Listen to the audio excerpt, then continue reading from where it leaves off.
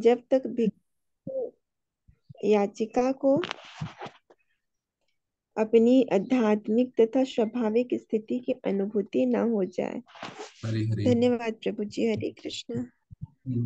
हरे कृष्णा। जी प्रभु जी। प्रभु जी आगे पढ़ूं क्या? थोड़ा सा ये यहाँ तक और पढ़िए। केवल परमेश्वर ही आत्मनिर्भर है। पाँच हज़ार वर्ष पूर्व जब भगवान कृष्ण इस तरह धाम पर प्रकट हुए तो उन्होंने अपने विभिन्न कार्यालयों, कार्य- कार्यकलापों द्वारा भगवान की पूर्ण अभिव्यक्ति प्रदर्शित की। बचपन में उन्होंने आगासुर वाकासुर तथा शक्तासुर जैसे अनेक अशक्तिशाली असुरों का वध किया। किसी बाहरी प्रयास से उ- किसी बाहरी प्रयास से उनमें इतनी शक्ति आ जाने का प्रश्न ही नहीं उठता। उन्होंने भारोत्तोलन का कोई अभ्यास किए बिना गर्वो गोवर्धन पर्वत उठा लिया। उन्होंने किसी सामाजिक बंधन तथा निंदा का विचार किए बिना गोपियों के साथ राज रचाई।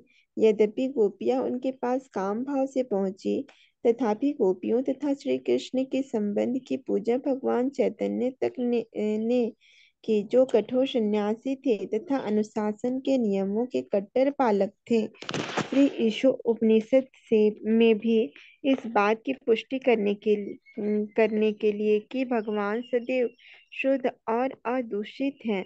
उन, उन उन्हें शुद्धम तथा अपाप विधम कहकर वर्णन किया गया है।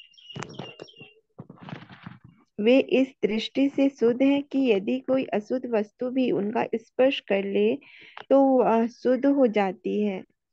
अपाप विदम शब्द उनके संसर्ग की शक्ति को बताने वाला है। जैसा कि भगवत गीता जी जी प्रभु धन्यवाद। हरे कृष्ण।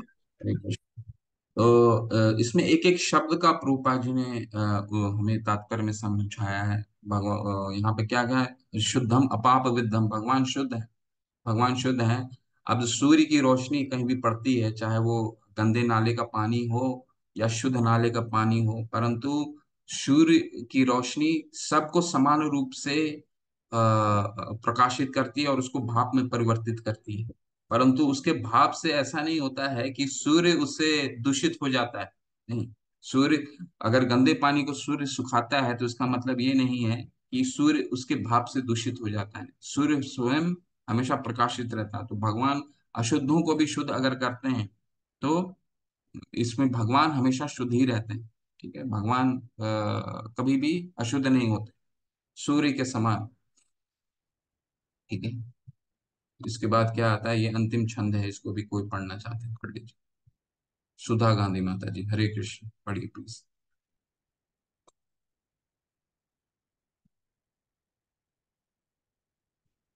हरे कृष्ण, सुधा गांधी माता।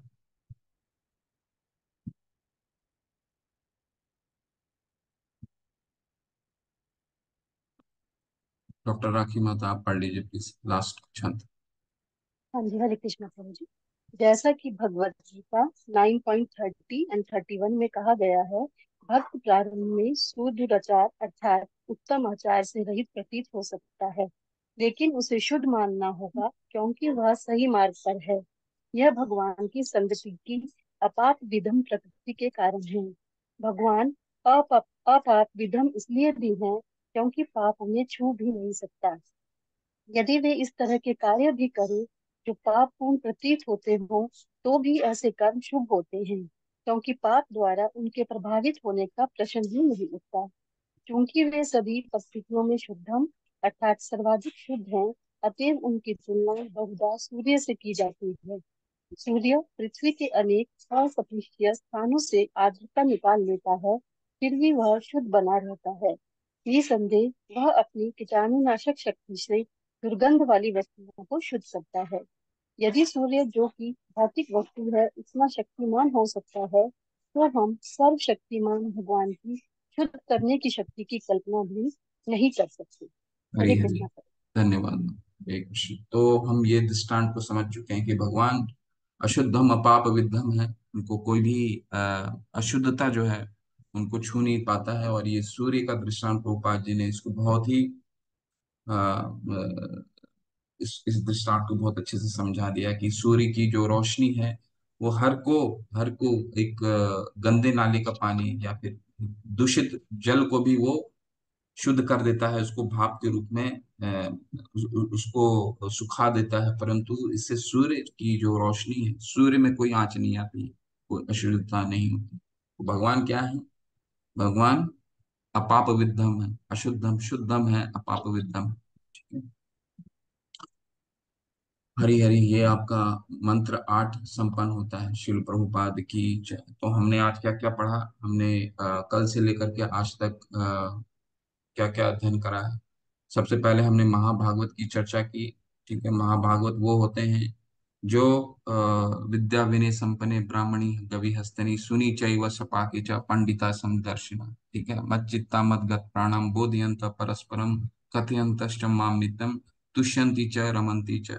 जो सततम कीर्तयंतो माम यतयंत दृढ़वता। तो ये सब कुछ चरित्र हैं महाभागवतों के ठीक है? महाभागवत हर जगह भगवान के आ, सभी जीवों को भगवान के अंश के रूप में देखते हैं।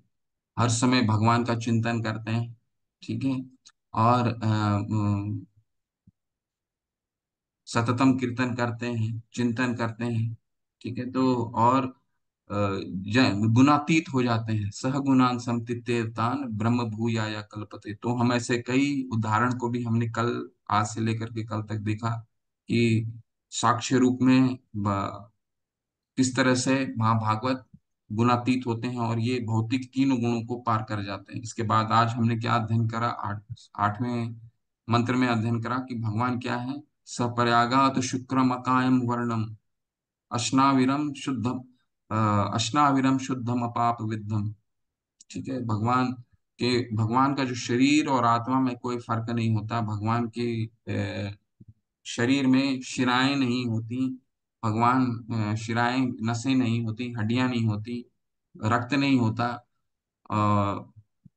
भगवान शुद्ध होते हैं और उनको कोई अशुद्ध अशुद्ध अशुद्ध वस्तु उन्हें वो शुद्ध उन, उनके छत्र में शुद्ध हो सकता है ठीक है? वो सबको शुद्ध कर देते हैं परंतु वो इनसे अछूते रहते हैं।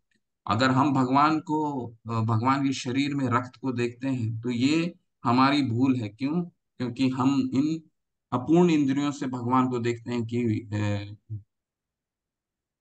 भगवान के शरीर से खून निकल रहा है भगवान को यहाँ चोट लग गया क्योंकि भगवान तो भक्तों को आनंद देने के लिए सब सब कार्य रचाते हैं। ठीक है चाहे वो भीष्म देव हो, चाहे वो यशोदा मैया हो तो शारीरिक रूप से जो भी वो कराते हैं, अगर हम उनको शरीर रूप में देखेंगे तो क्या हो जाएगा? हम अवजानंती माँ मूढ़ा मानुषी तनु माशितम, परम भावम अजानंतो मम भूत महेश्वरम। वो मूढ़ा है जो मुझे महेश्वर के रूप में नहीं जानता है, मुझे ऐसा समझता है कि मैं मनुष्य के रूप में उत्पन्न हुआ ठीक है? तो ये हमने आज का अध्ययन किया। तो अगले सत्र में बहुत इंपॉर्टेंट विषय आने वाला है। अगला जो चार मंत्र है, वो बहुत महत्वपूर्ण है। किस विषय से महत्वपूर्ण है? वो इस विषय से महत्वपूर्ण है कि हम भौतिक विद्या जो लेते हैं, जो विद्या हम ग्रहण करते हैं, उस विद्या का हमारे जीवन में क्या मूल्य है, ठीक है? वो हम अगले दो श्लोकों में पढ़ेंगे, ठीक है? उसको शास्त्र क्या कहते हैं? जो भौतिक विद्या हम लेते हैं, उसका क्या महत्व है? और वो हम अपने जीवन में उसको किस तरह, उसको व्यवहारिक रूप में कैसे हम उसको देख सकते हैं? तो अगला दो श्लोक बहुत महत्वपूर्ण है। हरे कृष्ण। शिल प्रभुपात की जय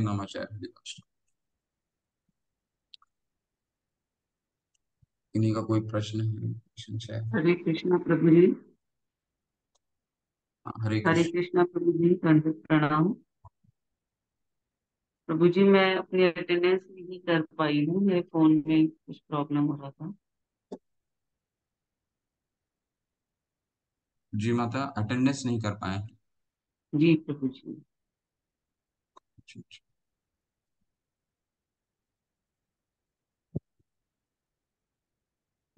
वसुधा माता जी को दोबारा बोल दीजिए अभी लिंक भेज देंगे।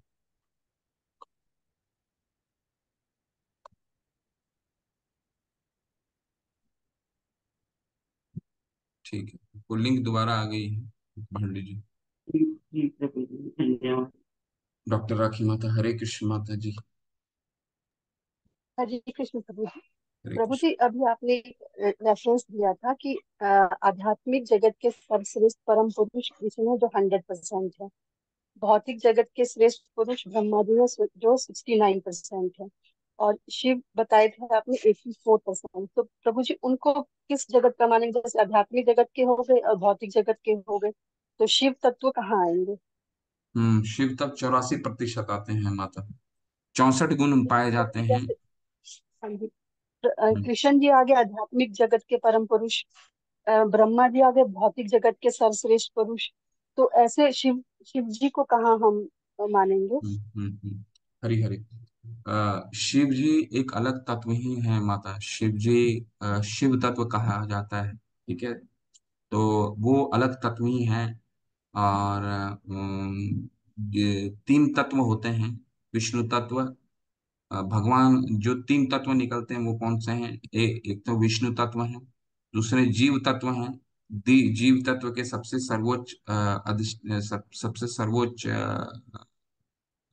हैं ब्रह्मा जी जो पूरी दृष्टि सृष्टि का उत्पाद करते हैं और दूसरे हैं वो है शिव तत्व। शिव तत्व जो है वो विष्णु के बहुत करीब माने जाते हैं ठीक है? तो उनका उनमें चौरासी प्रतिशत गुण पाया जाता है भगवान के चौसठ। चौसठ गुण पूर्ण गुण होते हैं और ये चौसठ गुणों का चौरासी चौरासी प्रतिशत शिव तत्व में पाया जाता है और वो तत्व अलग ही है माता। ठीक है? तो उसको शिव तत्व कहते हैं। ठीक है माता वो प्रभु जी आ, मतलब मेरा पूछने का मतलब ये था कि आध्यात्मिक और भौतिक जगत से एक्स्ट्रा एक और जगत माना जाए।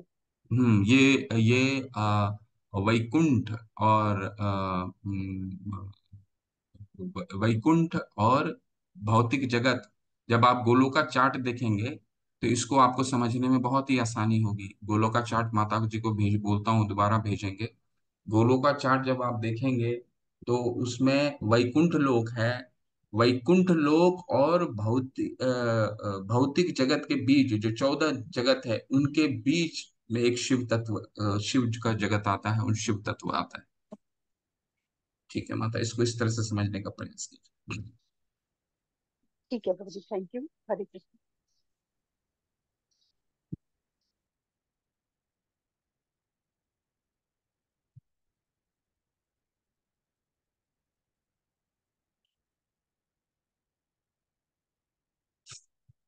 और कोई प्रश्न है किन्हीं का?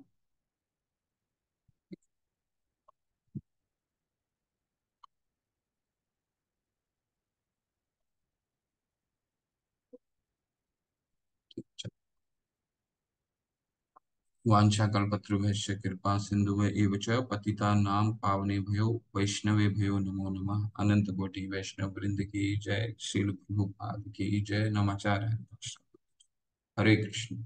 अगले गुरुवार को मिलते हैं आपसे। हरे कृष्ण।